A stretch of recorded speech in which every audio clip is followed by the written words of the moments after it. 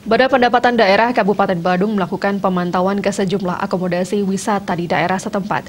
Upaya ini dilakukan untuk mengetahui tingkat okupansi atau hunian kamar, sehingga potensi pajak daerah dapat terukur di tengah pandemi COVID-19.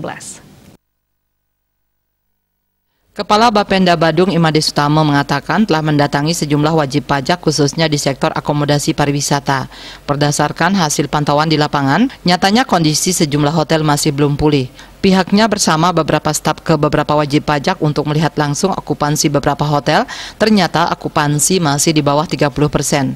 Mengawali pemantauan, Sutama didampingi Kabid Data dan TI, Ketut Sudiarte, dan Kabid Penagihan Kusumayadi bertemu dengan owner Hotel Alila, Bayu Adisastra.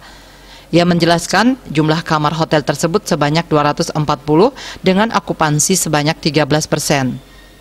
Tamu yang menginap saat ini kebanyakan domestik dengan harga rata-rata kamar sebesar 2,4 juta sampai dengan 2,5 juta.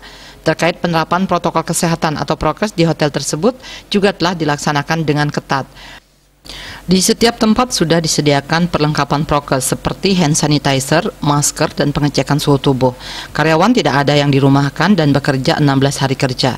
Selanjutnya kunjungan di Hotel We Retreat diterima General Manager Hotel Titus Rocher. Tingkat okupansi hotel saat ini rata-rata 15 sampai 20 persen dengan harga kamar Rp2.100.000. Pihak hotel telah melaksanakan prokes secara ketat. Saat ini kebanyakan masih tamu domestik. Perwata Bali Pos melaporkan.